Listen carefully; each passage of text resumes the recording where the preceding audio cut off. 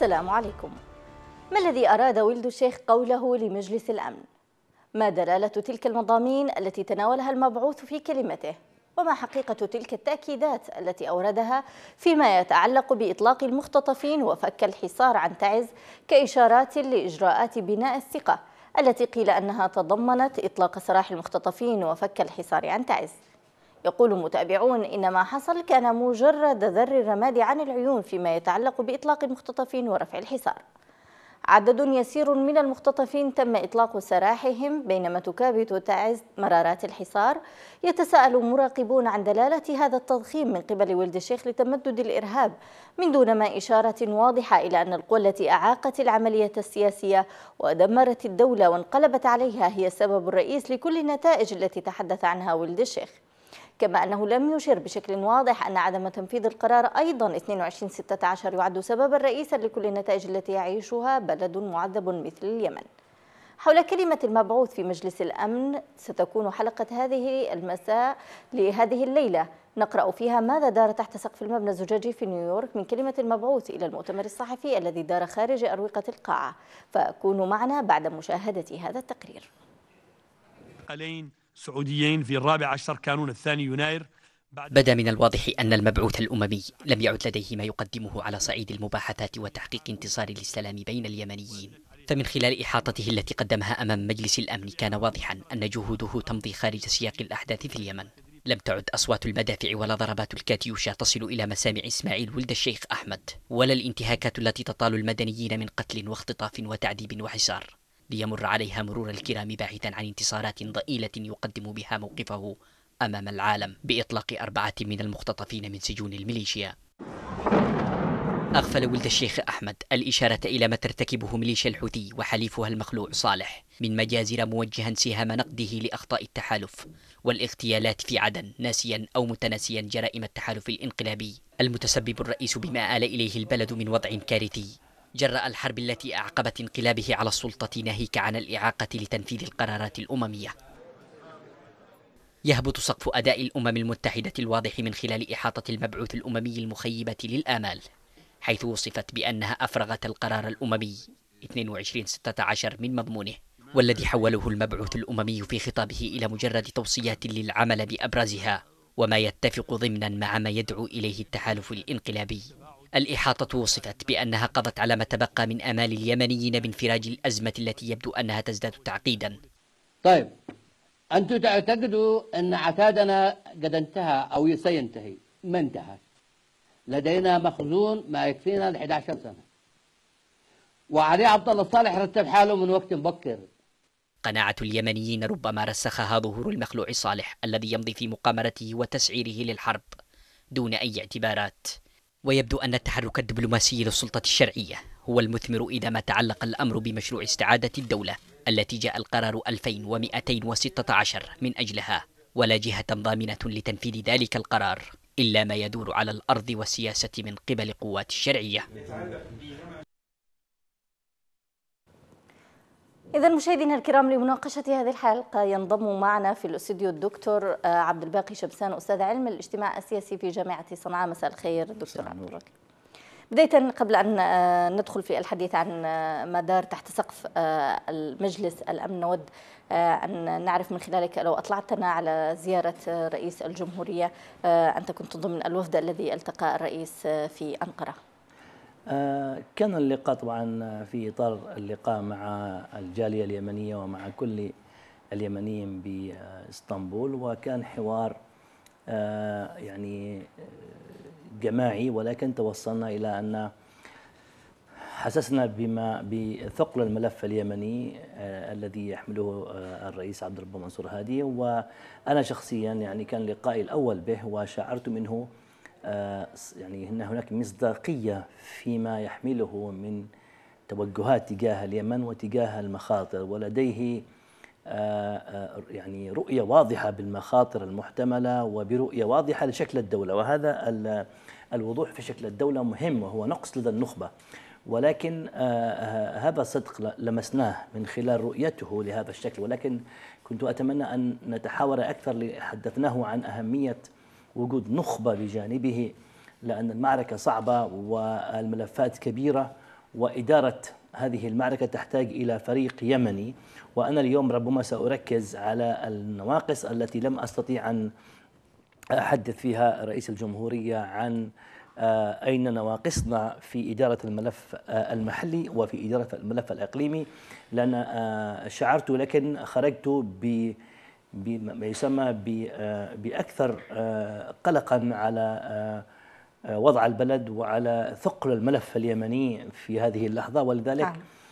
لكن اللقاء الأول كان إيجابي من حيث كنت قلق جدا من حيث رؤيته للمخاطر لديه رؤية واضحة للمخاطر المحتملة في حال ما ذهبنا إلى طريق آخر غير الطريق الذي نعم. تحدث عنه مخرجات الهواء طيب الوطني لو لو عدنا دكتور لموضوع حلقتنا وهو احاطه ولد الشيخ الذي ربما جاءت مغايرة أو مخالفة لكثير من التوقعات وربما آه لتوقعات آه عدد من آه أيضا آه النخبة وعدد من آه من التقوا بولد الشيخ قبل آه هذه الإحاطة آه يعني آه ما ما أبرز آه النقاط التي تم ذكرها في هذه الإحاطة برأيك؟ هو آه وضع يعني هي إحاطة الأمين العام ولكن تفاجأت ب آه، نحن لو تذكرين تماما تفاجأت بالإحاطة وبعدم وضوحها.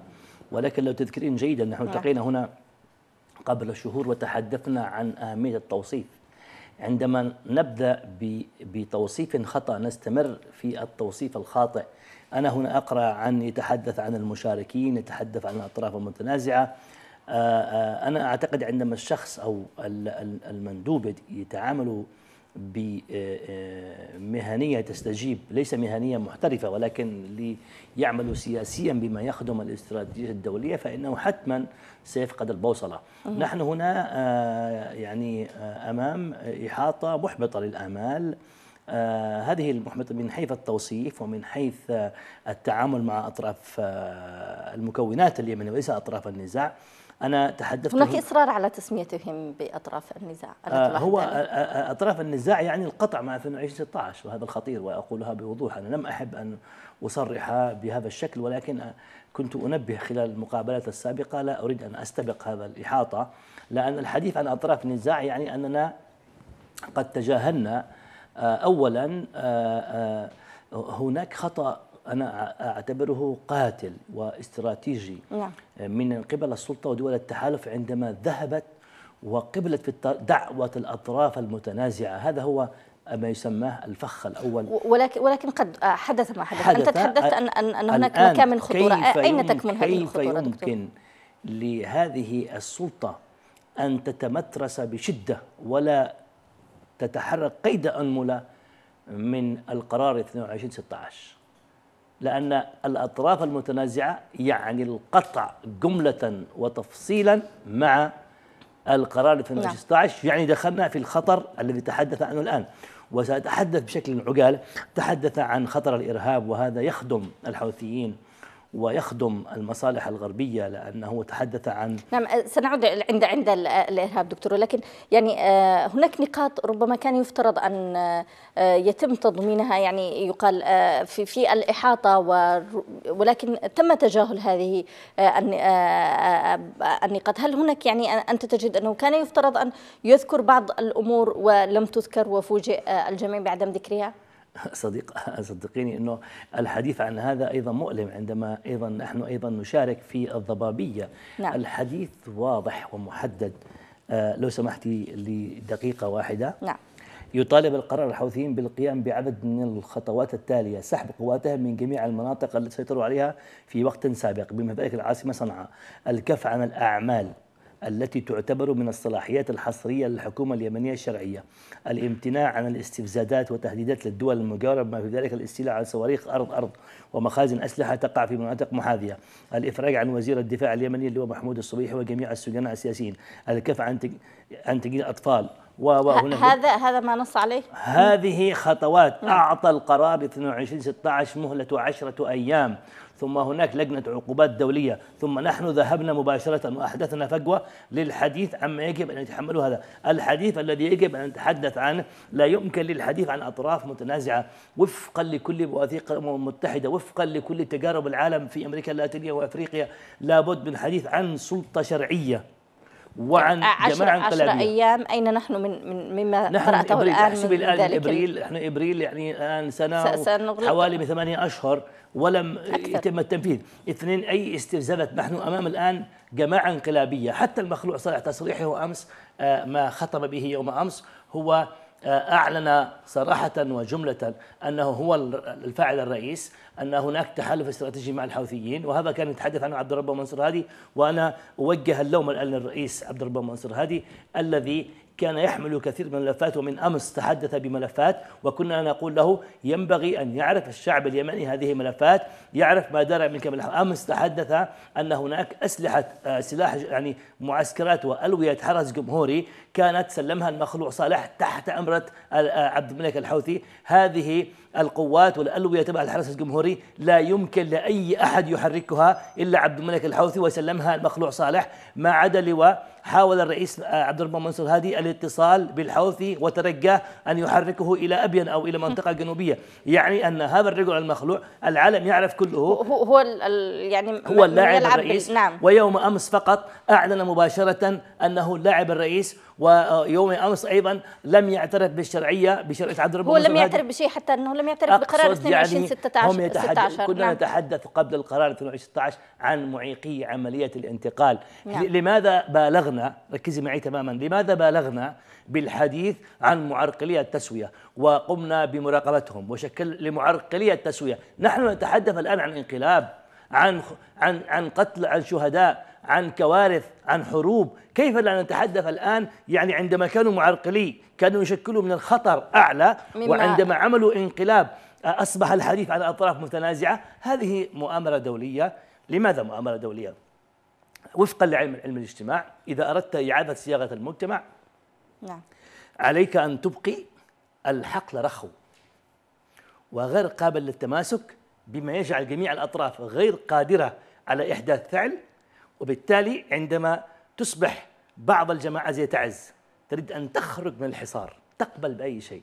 عندما تكون أنت سلطة شرعية غير قادر وسأتحدث اليوم وسأوجه ناقد لو أنا نسيت أرجو تذكيري إلى دول التحالف عن وضع آه، السلطة آه، الشرعية في مرتبة ثانية. واليوم هناك اجتماع لوزراء الإعلام الخليجيين يتحدثون بعد ما يقارب سنة عن توحيد الخطاب الإعلامي. بعد هذه كارثة أنا أوجهها لدول التحالف. أنت لا يعني تحركت عسكريا دون رؤية إعلامية نحن أمام مغالطة. ما وضعه ولد الشيخ ضعنا ينبغي على القوى الحية اليمنية والمجتمع المدني. أنا شعرت يوم أمس وتحدثت مع بعض آه، الوزراء أن هنالك خلل من حيث إدارة الملفات من حيث من حيث أنكم تتعاملون بفردية دون فريق نخب من حيث أن ملفات ثقيلة عليكم. وبالتالي نعم. حتى لو تلاحظين أنا تألمت كثيرا لصورة في وسائل الاتصال وزراء الأثرات لديهم مفكرات يكتبون الملاحظات وهذا عرف بينما مستشارين الرئيس بتاعتنا يستمعون دون أن يدونوا هذه الملاحظات والالتزامات. بالتالي أنت أمام فريق ليس لديه تراكم في نعم. معلوماته. نعود إليهم الدكتور عبد الباقي ولكن اسمح لنا أن ينضم إلينا عبر الهاتف الأستاذ مختار الرحبي السكرتير الصحفي لمدير مكتب رئيس الجمهورية من الرياض. مساء الخير أستاذ مختار. أهلا وسهلا. مساء الخير عليك وعلى المشاهدين الكرام وعلى ضيفك الكريم. أهلا بك أستاذ مختار. أستاذ مختار بعد هذه الإحاطة التي قدمها آه، مبعوث آه، ولد الشيخ مبعوث آه، الأمم المتحدة يعني برأيك ما هو مستقبل المفاوضات على ضوء هذه الإحاطة؟ اولا هو تحدث أنه المبعوث الدولي تحدث أنه يتمنى أو يأس تكون المفاوضات في مارس القادم. وأنا أعتقد أنه في ظل استمرار تعنت الميليشيات الانقلابية في الانصياع لتنفيذ القرار الدولي وكذلك لما تم الالتزام به للمبعوث الأممي شخصيا من قبل الميليشيات في جنيف اثنين من آه، أسس بالثقه التي لم يلتزم بها الحوثيين وعلى عبد الله صالح حتى هذه اللحظة. أنا أعتقد أنه آه، في ظل كل ما تقدم أعتقد أنه المفاوضات القادمة يعني في ظل آه، كل هذه المؤشرات وفي ظل كل ما تقدم أعتقد أنه لن تكون في الفترة نعم. القادمة إلا إذا آه، آه، حصل هناك إحراز تقدم عسكري كبير بالنسبة للمقاومة الشعبية والجيش الوطني. أعتقد أنهم سينفعون آه، مجبرين للذهاب لمشاورات قادمة لأننا نتحدث عن آه، آه، ثمانية أشهر من المراوغة ومن المماطلة ومن عدم الاكتراث بالمشاورات السياسية. كانوا قبل ثمانية أشهر يتحدثون أو آه، آه، يصرخون وينددون بالقرار الدولي وأنهم لن يذهبوا إلى أي مشاورات ولكن بعد أن تم تحرير المناطق الجنوبية عدن نعد ابين شبوه وكذلك بعد التقدم الملحوظ في نعم. مارس لا لكن اسمع ذهبوا بهذه المشاورات نعم. هم مجبرين بتحسين أوراق نعم. أستاذ مختار يعني دائما ما يعود الحديث عن عند تعنت الحوثيين ولكن آه، يعني في الإحاطة أيضا هناك مفاجأة ربما آه، بالنسبة يعني تحدثت مع برنامج زوايا الحدث في قناة بلقيس الدكتورة نهال العولقي عن آه، أنه عندما التقوا بالمبعوث الأممي تحدثوا معه من خلال وجهة نظر الحكومة ولكن يعني تفاجأنا بإحاطته لمجلس الأمن يوم أمس والمختلفة تماما. يعني كانت كما تحدثت الدكتورة نهال آه، هذه الإحاطة مخيبة للتوقعات وفيها الكثير من المغالطات والمبالغات. آه صحيح آه والإحاطة كانت فيها عبارات فضفاضة وكانت فيها محاولة للاجتاز على القرار الدولي حيث يعني نصت هذه الإحاطة بأنه سيتم أو سيكون ستكون توصيات القرار الدولي هي منطلق مع أنه الدولي هو قرار وليس توصيات كان 24 بند ملزمه كل هذه البنود ملزمه آه، كنا ننتظر من مجلس الأمن أن يوسع دائرة العقوبات على آه، قيادات الحوثي وقيادات المقربين من علي عبد الله صالح لكن لم يتم إنما حدثها بشكل مطاطي وبشكل آه، نعم. يخدم الميليشيات الإنقلابية ويعطي مجال لها للمناوره السياسية، بالتالي أنا أعتقد إنه الاحاطه كانت مخيبة للآمال ولم تكن بحجم التوقعات التي كنا ناملها.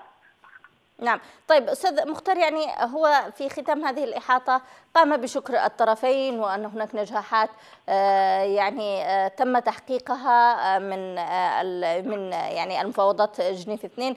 ولكن لو سألتك عن ما علاقة الواقع الذي نعيشه اليوم بهذه النجاحات التي ذكرها ولد الشيخ؟ آه، هو يتحدث طبعا المبعوث الاممي هو يتحدث عن نجاحات شخصية له هو حققها إنه آه، آه، استطاع أن يجمع الطرفين على طاولة حوار واحدة وهذا يعتبر نجاح وتطور ملموس في المفاوضات في في مجرى المفاوضات. أيضا الإعلان عن الهدن التي لم يلتزم بها الانقلابيه يعتبر نجاح للأمم المتحدة في إعلان هدنة إدخال بعض المساعدات الإنسانية بعض وليس كل بعض المساعدات الإنسانية إلى محافظة. سعيد أيضا يعتبر نجاح آه، آه، للأمم المتحدة. لكن في المجمل يظل الملف اليمني آه، يعني بالنسبة للأمم المتحدة لم تنجح به ولم يتم تنفيذ القرار. يعني القرار كان ملزم وتحت البند السابع و لابد من تنفيذه لكن نعم. للأسف الشديد أنه حتى هذه اللحظة مرت تسعة أشهر ولم يتم التنفيذ وهذا يستدعي من مجلس الأمن أن يكون أكثر حزما وأن يتم إعلان أسماء جديدة في إطار العقوبات الدولية وأن يكون أكثر حزما لتنفيذ قراره الذي أصدره هو آه، وليس أحد نعم. آخر. نعم إذا شكرا جزيلا لك أستاذ مختار الرحبي سكرتير صحفي لمدير مكتب رئيس الجمهورية. كنت معنا عبر الهاتف من آه، الرياض. عودة إليك آه، دكتور عبد الباقي. لو علقنا فقط على يعني ما ذكرته للأستاذ مختار وهو حديث الدكتورة نهال العلقي وهي آه، وزيرة شؤون القانونية الدولية. يعني هي تحدثت أن هناك كان لقاء وطرح وجهة نظر الحكومة ولكن الإحاطة كانت مخيبة للتوقعات وفي الكثير من المغالطات. ما رأيك؟ الإحاطة المندوب واضحة جدا هي آه، آه، تتوائم مع متطلبات التسوية إنها تضغط باتجاه أن آه، أولا أستخدم كلمة المشاركين المشاركين وأنا كنت أتمنى هنا في يونيف أنا لا لم يسعف يسعفني الوقت في أخذ النسخة الإنجليزية الأوريجينال لأرى حتى نترجم المشاركين كيف أخذت من من اللغة الإنجليزية. لا.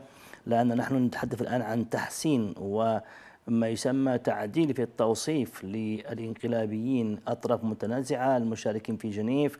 هذه كلها تعويمات في تضليل الخطاب تدريجيا تحدثنا تدريجيا.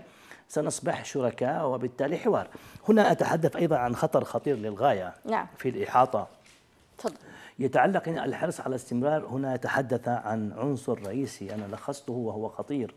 يتحدث عن وهذا المؤشر يخدم المشروع استيعاب الحوثيين ويخدم آه، التوجه الغربي من حيث تحدث عن خطر الإرهاب في آه، حضرموت وأنها سيطرت على آه، يعني على إدارة الحياة هناك وعلى على منطقة حضرموت وأن هناك نعم. عملية إرهاب والتغالية. وهذا هو عنصر ضغط على السلطة الشرعية وعلى دول التحالف بأنهم أن البديل عن انسحاب الحوثيين والبديل عن المخلوع وعدم الذهاب نحو التسوية سيؤدي إلى وجود القاعدة وداعش كما هي مصنعة.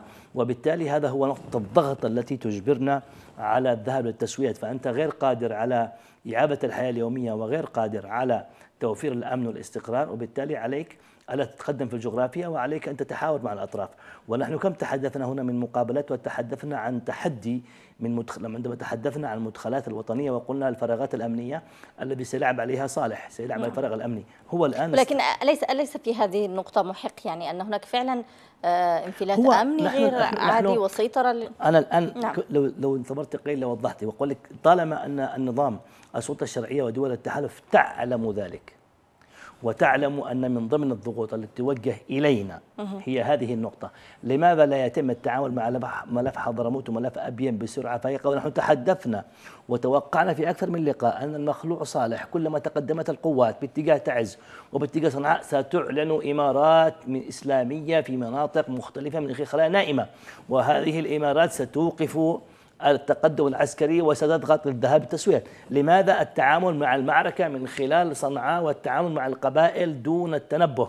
في قضية جوهرية أخرى تتعلق أيضا بالاغتيالات لم نسمع حتى عن لجنة تعاملت مع الاغتيالات أو قدمت تقرير محاولة اغتيالات ثم نتح يعني نحن أمام أمام أمام إحاطة فيها.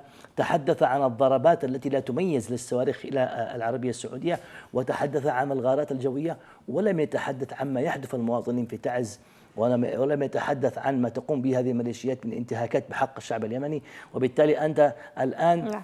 حصرت اللقاء وهنا لو سمحت أركز على نقطة خطيرة وهي نقطتنا اليوم حتى ليس الإحاطة نقطتنا هي كيف استغل ممثل الأمن العام هذه الثغرات من قبل؟ طيب برأيك لما يتم إغفال مثل هذه النقطة وهذا الملف؟ يعني ليس يعني بخافي على العيان يعني آخرها ربما قتل صحفي على الهواء يعني هكذا أمام عدسات الكاميرا. شوفي عندما يكون الغرب يريد أن تخدمه مسألة اغتيال الصحفي سيتحول هذا الصحفي إلى فيلم سينمائي وستتحول منظمات حقوق الإنسان في الغرب لتبني قضية هذا الصحفي.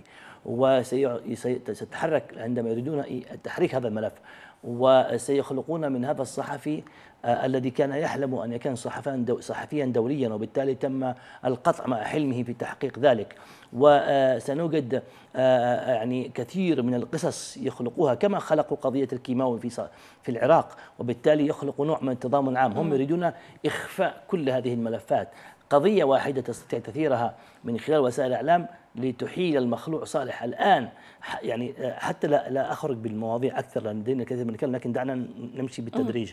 أقول هذه الثغرة نحن اليوم سنزوج بين هذا التقرير الذي يستجيب أعتقد ضغطا دوليا للذهاب للتسوية يستجيب لأنه تحدث عن أطراف تحدث عن صواريخ يعني عن قصف قصف الغارات الجوية والعمليات العسكرية وأثرها على المواطنين وتحدث عن تجاوز القانون الدولي الإنساني وتحدث عن صواريخ عن صواريخ وأهمل عنصرين رئيسيين من الذي ونكررها دائما قام بإخراجنا من مسار الانتقال من الذي يقتل المواطنين؟ نعم. من الذي يقتل الصحفيين؟ من يحاصر مدينة تعز؟ ماذا طيب. حدث في عد؟ يعني هل هذا كله نتركه لننتقل الحديث عن أن هناك؟ أنا أين الخطأ؟ الخطأ وقلناه برضو يعني أنا لست يعني أدعي أن أنا أبو المعرفة ولكن آه، أنا عندما أناقش آه، يعني هذه ملاحظتي بسيطة للغاية ولأي لاعب سياسي بسيط يلاحظها عندما تضع السلطة الشرعية دول التحالف تضعها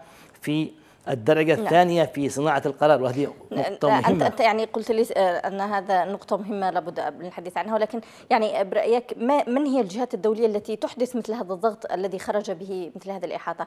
اسمح لي أن أسمع منك الإجابة بعد هذا الفاصل. مشاهدينا الكرام فاصل قصير ونعود إليكم.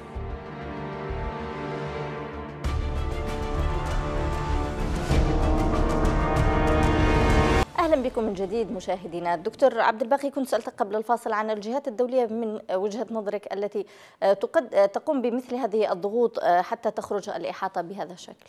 أنا تحدثت عن عنصرين. شوفي آه، آه، الذي يهيمن على يعني ميزانية الأمم المتحدة والذي آه، يعني يهيمن على صناعة القرار الدولي لهم مصالح استراتيجية والمصالح الاستراتيجية في الدول تنعكس في قرارات الأمم المتحدة والدليل يعني آه، فلسطين والدليل في كوسوفو في سوريا. شوفي ماذا يحدث من كوارث ولكن هناك مصالح دولية في التقسيم. نعم. وأيضا آه، مثلا تركيا ما يحدث الآن مرتبط بإضعاف تركيا وأيضا كانت بدأت تركيا تصبح لها امتداد في بلدان الربيع العربي فقاموا بإدخالها في الأكراد تفجير يوم أمس. بالتالي هناك مصالح دولية. هنا في اليمن المصالح الدولية تقتضي أن يتم إعادة فدرالة الشعب فدرلته وإعادة يعني جعله طائفيا وليس نعم. وطنيا. هذا توجه دولي للمنطقة. كيف يمكن لنا؟ نحن طالما فهمنا هذا المخطط وانظروا العراق ماذا يحدث. نحن نتحدث عن العراق الآن لم يعد مجالا عربيا. العراق لم يعد عربيا. والعربية السعودية الآن تدافع عن خاصرتها خلاص لأنه سوريا الآن معركة مختلفة وفيها لم المستهدف فيها آه، الدول العربية وتركيا مستهدفة في سوريا. ولكن العراق لم يعد شأنا عربيا أصبح مجال إيراني. بالتالي إذا يصبح المجال اليمني مجالا إيرانيا على آه، على آه، العربية السعودية أن ستذهب لأشياء أخرى. نحن نتحدث عن توجه دولي لبقاء الحقول العربية رخوة وهذا هو الخطر. رخوة بمعنى أنه ينبغي أن نوقف الحرب بهذا التوقيت. تحت ضغط ماذا؟ أن هناك الخوف من الإرهاب ضغط أن هناك انتهاكات التعامل مع الأطراف سواسية بينما الأمر واضح وصريح. انقلابيين وأنت محددهم بلجنة العقوبات. آه، المخلوع صالح يوم أمس صراحة يعني لما كان لما كان يلعب بالخفا كان معرقل. يعني شوفي كيف اللعب. لما نعم. كان يلعب بالخفا ونحن نشك ولا وليس لدينا دليل أنه يلعب بالحوثي كان معرقل ومهما كان معرقلية التسوية من أشخاص وكيانات وكنا نشير عليهم على على على خجل في لقاء. لما يعلن صراحة وسلم الدولة صراحة وسلم الجيش وقتل الشعب اليمني ويقول أنه يرفض ويرفض ويرفض لا نوجه له الآن ولا نستطيع أن نقول يعني بمتابعته وتجميد أمواله واتخاذ إجراءات تابعة واللجنة موجودة. إذا هناك آه، مؤامرة دولية نعم. على هذا. نحن نتحدث الآن على مسائل ذات خطورة. قلنا وأنا أنبه الآن من مسألة أخيرة. قلنا أقولها للسلطة دول التحالف و وللسلطة الشرعية. ينبغي أن يكون اللاعب الرئيس في الواجهة السلطة الشرعية حتى لا تكون الطرف الأضعف. إذا من هو اللاعب الرئيس إذا لم تكن السلطة الآن, من من الآن حصلوا الصراع بين دول التحالف والانقلابيين وكأن السلطة الشرعية هي حاضرة فقط لتضفي شرعية على الفعل لدول التحالف. إنها, إنها لديها تفويض وفق المادة 150 أنها موجودة في الرياض ولكن عندما تطلب العربية السعودية من آه، الدولية الانسحاب من الناطق العسكري ينبغي أن يكون الناطق الرسمي السلطة الشرعية. عندما نتحدث عندما نتحدث الآن عن عن يعني شوفي القصور القصور واضح وشديد. نحن قلنا للعربية السعودية نحن في معركة مصيرية لا تتعلق باليمن ونحن ندرك هذا. نحن الآن مصيرنا مشترك وهناك أهداف واضحة. بالتالي إضعاف السلطة الشرعية وجعلها معلقة في الرياض لا يخدم المعركة. يعني الآن بعد سنة يأتي لي باتفاق الخطاب الإعلامي. الخطاب الإعلامي هذا يعني ما ما يطلق الآن عدوان الخارجي ما يطلقه ولد الشيخ عن الصواريخ التي تضرب ناتج عن قصور في الخطاب الإعلامي ناتج عن إهمال المجال الدولي والرأي العام الدولي ناتج عن ما يسمى بحملات العلاقات العامة للسلطة نعم. الشرعية وتسويقها في الخارج. ناتج عن كثير. الآن نتحدث عن ماذا؟ نتحدث عن ثغرة الإرهاب. وقلنا نحن يعني ينبغي ألا نترك ثغرات، أنت تدرك أنه في ثغرة الفراغات الأمنية والإرهاب وهذا يعني أبسط شخص يعرفه. سيستغله صالح ويتحدث أمس أنه سيستمر 11 سنة، هو سيستمر 11 11 عام ليس كما تتوقعين أنه سيواجه، هو سيعمل على نفس نمط الدوري يعني آه، الدوري في العراق اللي هو نعم. البقاء في مخبأ ومن ثم عملية عسكرية وتفجيرية. بالتالي أنت الآن في خطورة في منطقة تعز وهناك نوع من التوجس من وجود بعض التنظيمات. ليش تنتظر لما تظهر؟ حتى تحبط مدينة تعز. لماذا لا يكون هناك وضوح, وضوح ودعم للمقاومة؟ طيب عند عند هذه النقطة دكتور يعني أيضا في الإحاطة هو تحدث عن إجراءات بناء الثقة آه، إطلاق المختطفين وفك الحصار. ولكن نعم يعني بناء الثقة آه يعني تحدث عن نجاحات غير ملموسة لا في, في الواقع عن بناء الثقة الحديث هنا عن تطبيق قرار وتوجيه. إذا و... على من يغالط؟ يعني إذا كان هذه كان المغالطات ناتجة عن قلنا عن قصور. هناك ضغوط دولية وهناك ضعف في إدارة الملف. يعني تلاحظي أنت الآن في كوارث في هنا كارثة تحدث عنها هو حتى على مستوى لقاء مدير البنك المركزي واداره البنك المركزي مع وزير المالية بعد كم؟ بعد سنة عندما الحوثيين تحدث أن هذا منجز والسلطه الشرعيه تناست بعد ما سرقوا الاحتياطي المالي بعد ما استنزفوا البلد.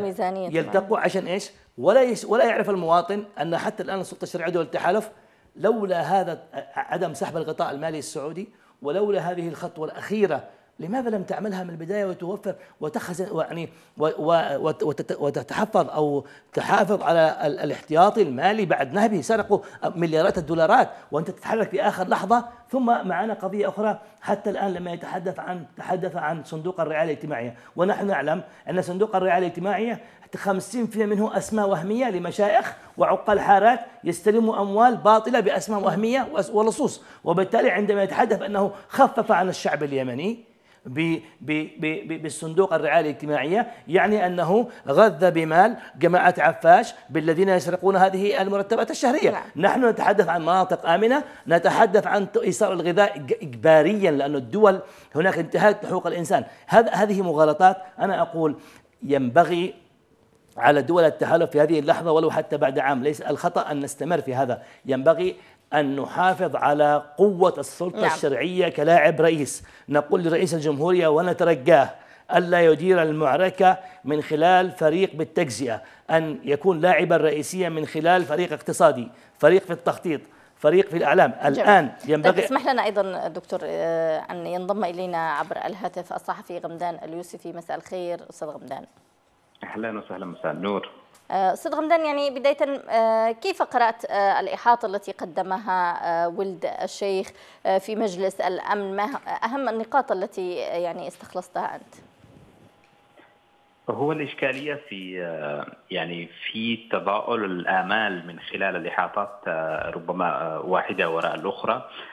كل إحاطة تأتي بأقل من المتوقع من من قبل المبعوث الأممي. ربما يتحاشى كثيرا أن يحمل أي طرف من الأطراف مسؤولية. يجب حتى على الأقل أن يقول أن أن قوة التحالف عادي. يعني من من المهم أن أن أن يسمع الناس كلاما يعني يعتد به لا أن يتم سرد حقائق بدون تحميل الأطراف مسؤوليه ما يدور. يعني سواء من قتل سواء من احتجاز لي لقوافل الإغاثة سواء من يعني من من عدم التجاوب سياسيا.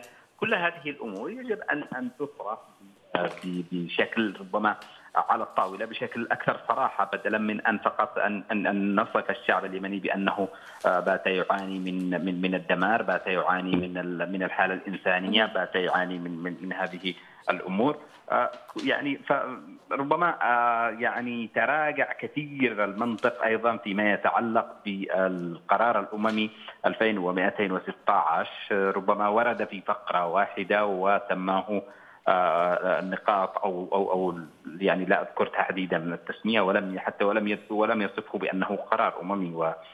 وهذه أيضا ابتعد عن مسألة آه، الحديث عن آه، يعني عن أن الحل السياسي يجب عن ان على أن يرتكز على مرتكز معين الذي دار النقاش حوله طويلا وهو القرار الأممي وكيف نعم. يمكن أن يتم تطبيقه آه، كل هذه الأمور ربما آه، يعني لم لم لا لا, لا توجد هناك إشارة آه، تبعث كثير من الأمل في مسألة نعم. فيما يتعلق بأن الحل سيكون قريبا، أيضا حال المسألة إلى أن الأزمة في اليمن سياسية وأعتقد أن هذا الكلام لم يعد منطقيا أن نتحدث عن أزمة سياسية في اليمن بقدر ما نتحدث عن أن الأزمة السياسية كانت في مرحلة ما قبل ما قبل 21 سبتمبر 2014 حين كانت الأزمة تدور في طاولات نقاش في في فنادق العاصمة صنعاء وليس بعد أن تم هد الدولة يعني ان أن يعني الانقلاب على الدولة هو ليست أزمة سياسية بقدر ما هو اعتداء على شرعية الدولة على شرعية رئيس على حكومة على شعب بالكامل آه، فتوحات للمحافظات وما إلى ذلك. وكيف يمكن أن نطلق على على ما يجور الآن بأنه أزمة سياسية؟ بقدر ما ما, ما نطلق عليه اعتداء جماعة مسلحة على نعم. شعب بالكامل سواء من خلال شرعية آه، آه، هناك من يرى أستاذ الشعب أو ما غيره. نعم. نعم. هناك من يرى أستاذ غمدان ان الكلمة جاءت يعني وكأن ولد الشيخ يعني يغرد خارج إطار 22 16 القرار الأممي. ما وجهة نظرك حول ذلك؟ يعني هناك يعني من يقول بأنه أفرغ القرار من محتواه وجعله يعني لم يعد ركيزة لما يفترض أن يكون. آه بالضبط. يعني آه على الأقل على الأقل كان آه كان الناس ينتظرون أن يحيط المبعوث الأممي في هذه الإحاطة أن يتحدث عن عن أسباب عرقله عن الطرف الذي يعرقل تنفيذ هذا هذا هذا القرار الذي صدر بإجماع دولي لم يكن عليه أي خلاف من قبل أي من الأطراف ما عدا الحوثيين وعلي عبد الله صالح هم المعترضين. يعني لكونهم هم أساسا الذي أصحاب الإشكالية في الموضوع. لكن لم يتحدث عن إشكالية آه، أو عن آه، عن معوقات تطبيق هذا القرار عن الأطراف التي تعيق عن إشكالية التنفيذ عن الأدوات التي يمكن أن تنفذ عن السلاح لمن سيسلم. يعني كل هذه التفاصيل أغفلت مع إغفال الحديث أساسا عن عن هذا القرار. ثم تلا ذلك الحديث عن تفاصيل ربما يعني كانت مهمة في حال تم تحميل طرف معين يعني أسباب هذه الجرائم التي تقام. يعني مسألة تحدث عن قمع الحريات تحدث عن سجن عن قتل عن اعتداءات عن يعني عن حصار لمدن. لكن يتحدث وكأن وكأن المحاصرون يعني هم آه، يعني آه، أطراف وهمية أو نعم. أو مغيبة لا يوجد طيب يعني برأيك ليست موجودة. أساسا نعم. برأيك أستاذ غمدان يعني آه، ما هو مستقبل المفاوضات بهذا الشكل؟ يعني بعد كلمة أو ربما إحاطات ولد الشيخ التي تأتي مخيبة الآمال كما وصفتها. أنا منذ وقت مبكر يعني أدرك أن مسألة الحلول السياسية عبر الأمم المتحدة لم لن تتقدم إلى الأمام ولا خطوة واحدة طالما لا يوجد هناك على يعني في الواقع في الواقع المعاش اليومي في اليمن تقدم يعني سواء من قبل يعني تقدم الجيش والمقاومة أو من خلال الذهاب بضمانات معينة إلى أو نعم. أو أو آه، حسن النوايا وأعتقد انه هذه المسألة أدركها الفريق الحكومي الذي يفاوض والذي يلتقي بولد الشيخ وأصبح طرح كلمته الأساسية في هذا الموضوع آه، منذ جنيف اثنين و كل اللقاءات التي تلت بعد ذلك يعني الطرف الحكومي في سواء في الرياض أو غيرها أو غيرها فطرح هذه المسألة. اجراءات بنود الثقة هي التي ربما نعم. ستحرك عجلات المفاوضات اما نعم. غيرها. لا أعتقد أن الأمور ستتحرك إلى الأمام إلا في حال وجود أيضا ضغط عسكري على الميدان. نعم اذا شكرا جزيلا لك آه، الصحفي غمدان اليوسفي. كنت معنا عبر الهاتف من القاهرة. آه، عودة أخيرة لك دكتور عبد الباقي. آه، دكتور عبد الباقي يعني هناك تفاؤل من قبل التفاؤل معتاد ربما من قبل ولد الشيخ في إحاطاته وبأن هناك نجاحات حققت.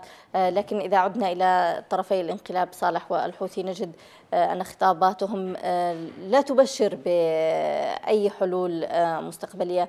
وأن أطراف يعني ربما لن تقبل بأي حلول. ما هي وجهة نظرك؟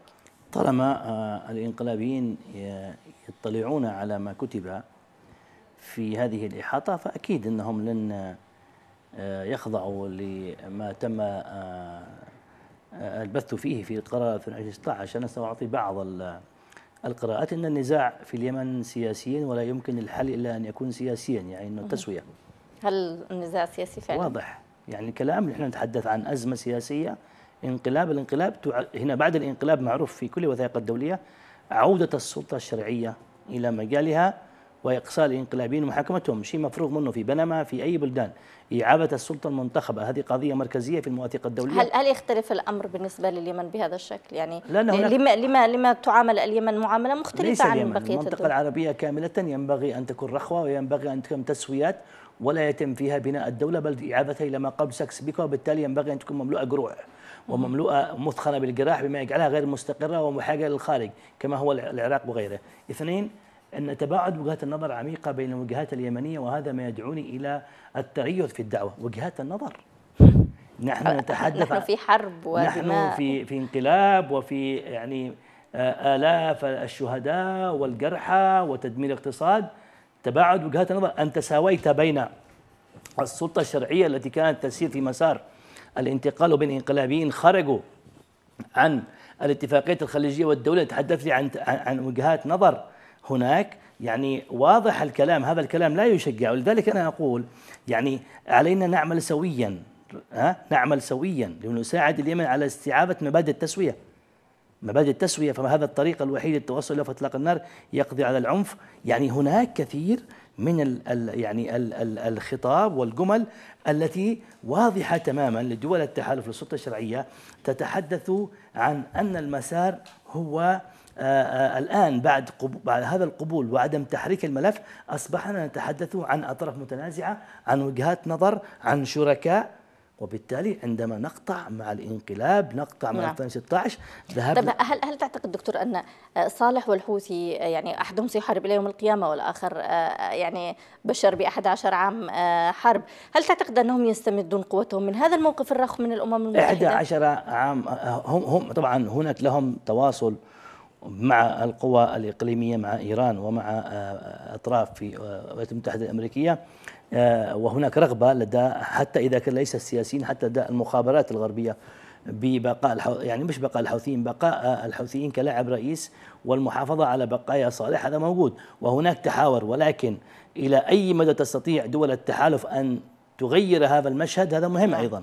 لكن آه، التحاور موجود وهذا نجاح. ولكن آه، هل تتوقعي أنت خطاب المخلوع صالح يوم أمس؟ الذي ما الذي أستفز المخلوع صالح أمس وخرج بهذا الوضوح أستفز التحول في 11 فبراير إلى إلى إلى يوما وطنيا إلى الأق- الأقلمة والإقليم اللي هي مرتبطة أنه كان يتغنى بالوحدة. الآن أقاليم بالتالي وجد نفسه خارج هذه الزعامة ومرتكب كل هذا بالتالي وضح وعاد إلى المشهد. هو يريد أن يقود معركة يقول أنا فيها الطرف الرئيس. لماذا؟ لأنه أمواله لم أمواله معروفة معروفة أمواله تماما. كثير من الأموال يعني مرصودة ومعروفة لم لم لم لم تجمد.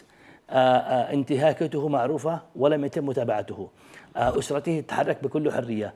الحوثيين حتى الآن ليس هناك مفروض هذا القرار يتحدث عن إهالة الحوثيين إلى جماعة إرهابية. ومنع السفر المخلوع صالح وتفعيل لجنة العقوبات وبالتالي لا نتحدث عن وجهة نظر. نعم. نتحدث أن هناك طرف لم يعيد السلطة وعليه تسليم السلاح وعليه أن نتبعه لمحاكمة دولية. نعم. إذا شكرا جزيلا لك الأستاذ الدكتور عبد الباقي شمسان أستاذ علم الاجتماع السياسي بجامعة صنعاء. أشكر لكم أيضا مشاهدينا الكرام لحسن متابعتكم. إلى أن نلتقيكم في مساء يمني جديد في الأسبوع المقبل. كونوا برعاية الله وأمنه.